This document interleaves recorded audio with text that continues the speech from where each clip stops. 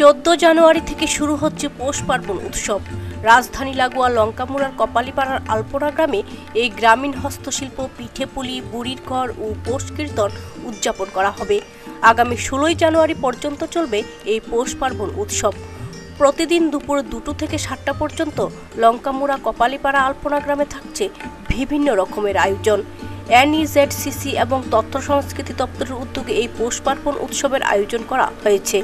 গ্রামীণ এই উৎসবকে কেন্দ্র করে ইতিমধ্যেই প্রস্তুতি চূড়ান্ত। সাজিয়ে তোলা হয়েছে বরজলার কপালীপাড়া গ্রাম। গোটা গ্রাম জুড়ে এখন গ্রামীণ সংস্কৃতিতে সেজে উঠেছে। তথ্য সংস্কৃতি দপ্তরের অধিকর্তা রতন ভৌমিক জানান, কপালীপাড়া আলপনার জন্য বিখ্যাত। এই গ্রামটিকে প্রমোট করার জন্য বিশেষভাবে উদ্যোগ নেওয়া হয়েছে। গ্রামীণ শিল্পীদের নিয়ে সমস্ত গ্রামের দেওয়ালগুলিতে চিত্রাঙ্কন করা হয়। এবছর রাজ্যে প্রথমবার কপালীপাড়া গ্রামে পৌষ পার্বণ উৎসব করা হচ্ছে। রাজ্যের শিল্পীদের কাছ থেকে প্রস্তাব আসার পরেই এই পরিকল্পনা নেওয়া হয়। একে কেন্দ্র করে ব্যাপক সারা ইতিমধ্যেই মিলেছে। লোক সংস্কৃতির সমস্ত পরিবেশনা থাকছে এই দিনগুলিতে। ইতিমধ্যেই অনেকেই এই গ্রামে এসেছেন। পর্যটন বিকাশের ক্ষেত্রে এই জায়গাটি আগামী দিনের বিশেষ ভূমিকা নেবে বলে আশা ব্যক্ত করেন তিনি। অ্যাকচুয়ালি এই কপালী বস্তি সম্পর্কে আমরা সবাই জানি। কপালী বস্তি আমাদের রাজ্যের একটা অন্যতম স্থান এখানে আলপনার জন্য। এটাকে ভিত্তি করে এখানকার যারা আমাদের তথ্য সংস্কৃতি দপ্তর থেকে শুরু করে রাজ্যের যারা শিল্পী যারা আছে, এটাকে এই গ্রামটাকে প্রমোট করার জন্য উদ্যোগ নেওয়া হয়েছে। ইতিমধ্যে অনেকগুলো অ্যাক্টিভিটিস করা হয়েছে, এর আগেও করা হয়েছে।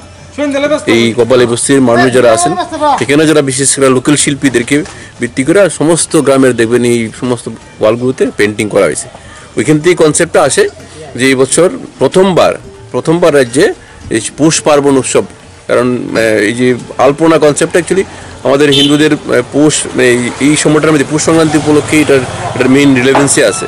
এই ব্যাপারে আমাদের এই রাজ্যের যত শিল্পীরা আছে, এই সমস্ত জগতের তাদের কাছ থেকে প্রস্তাব আমাদের কাছে আসে এবং Pratima madam basically Pratima madam, আমাদের যিনি এমপি ম্যাডাম আছেন ওনার তরফ থেকে প্রস্তাব আসে যে এখানে এটাকে ভিত্তি করে একটা উৎসব করা যায় কিনা পৌষ সংক্রান্তি উপলক্ষে। এবং সরাসরি আমাদের দপ্তরের পক্ষ থেকে আমরা মানে ভারত সরকারের কালচারাল মিনিস্ট্রিতে প্রস্তাব পাঠাই মানে এনইজেড সিসিতে যে আমাদের কিছু আর্থিক সাহায্য করার জন্য এবং এটাকে প্রমোট করার জন্য।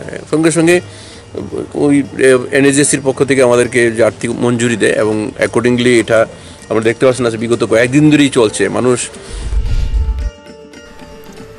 আগরতলা থেকে নিজস্ব প্রতিনিধির প্রতিবেদন, দুরন্ত টিভি।